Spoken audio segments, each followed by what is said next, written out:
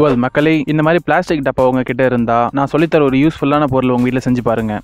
first இந்த மாதிரி ஒரு கோணம் சூடு பண்ணி டப்பாவோட சென்டரில் ஒரு ஹோல் போட்டுக்கோங்க அப்புறம் ஒரு வாட்டர் பாட்டில் எடுத்து அதே அளவுக்கு வாட்டர் பாட்டில் மூடியில் ஒரு ஹோல் போட்டுக்கோங்க அடுத்து அந்த பாட்டிலோட ஃப்ரண்ட் பகுதியில் கொஞ்சம் பெருசாக ரெண்டு ஹோல் நான் போடுற மாதிரியே போட்டுக்கோங்க அடுத்து இந்த மாதிரி ஒரு நெட்டை எடுத்து டப்பாவோட அடி வழியாக ஃபுல்லாக அனுப்பி அதே மாதிரியே பாட்டில் மூடியை நொழிச்சு நெட்டால் டைட் பண்ணிக்கோங்க இப்போ மறுபடியும் பிளாஸ்டிக் டப்பாவோட பாட்டமில் க்ளூ கேப்பே இல்லாத மாதிரி அப்ளை பண்ணிக்கோங்க அடுத்து பாட்டில் ஃபுல்லாக தண்ணி பிடிச்சி அந்த டப்பா மூடியால் இப்படி பாட்டில மூடி தலைகீழே திருப்பி வச்சிங்கன்னா தண்ணி பாட்டில் ஹோல் வழியாக வெளியே வந்து ஹோலுக்கு நேரா தண்ணி வந்த உடனே தண்ணி தன்னாலே ஸ்டாப் ஆகும் பாருங்க மகளே இந்த வாட்டர் ஃபீடர் சம்மர் டைம்ல குருவிக்கும் கோழிக்கும் செஞ்சு டெரஸ்லயோ இல்லைன்னா தரையிலயோ வச்சிங்கன்னா குருவியோ கோழியோ தண்ணி குடிச்சு தன்னாலேயே வாட்டர் ரீஃபில் ஆகிடும் நான் இப்போ இந்த சிரஞ்சால தண்ணியை பிடிச்சு வெளியே எடுக்கிறேன் எப்படி ஆட்டோமேட்டிக்கா தண்ணி ரீஃபில் ஆகுதுன்னு பாருங்க மக்களே செமையா இருக்குல்ல இந்த வீடியோ உங்களுக்கு பிடிச்சிருந்தா ஒரு